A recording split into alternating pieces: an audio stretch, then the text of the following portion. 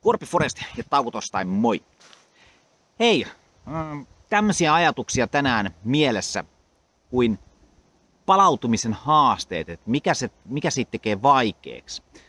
Me saadaan silloin tällöin onnistutaan siinä palautumisessa työpäivän aikana. Yksi tällainen tärkeä asia, jotta me saadaan siitä niin pysyvää, on rutiini. Ja se, että me saadaan niin rutiinista onnistuminen, on, onnistuminen, niin se, se vaatii sitten taas itsekuria. Eli mä lähtisin niin kuin tätä palautumista myös niin kuin katsomaan sitä kautta, että kuinka paljon mulla on sitä itsekuria tai ei ole, ja sitten tekemään niitä muutoksia sen suhteen ää, itsessäni. Tämmöinen ajatus tänään. Kiitoksia. Tauko kiittää. Moikka!